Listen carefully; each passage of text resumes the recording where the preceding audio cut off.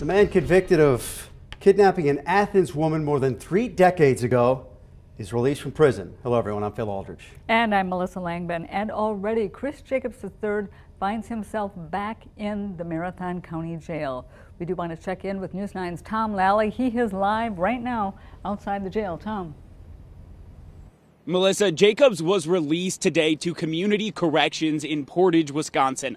Already, the DOC tells us there was a rule violation, and he's landed back in the Marathon County Jail under investigation.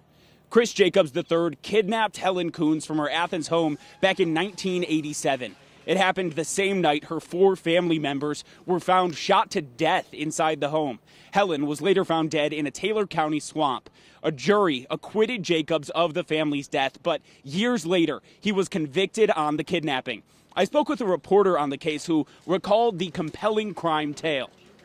There's only one person who can do anything, that's Chris Jacobs.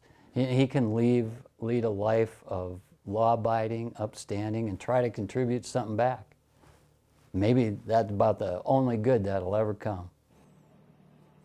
No one has ever been convicted of the Coons family deaths. So tonight at 10, we'll take a deeper look into the murder of the Coons family and the multiple cases against Chris Jacobs. It's in depth coverage you'll only see here on News 9 at 10. Live at the Marathon County Jail, Tom Lally, News 9, WAOW.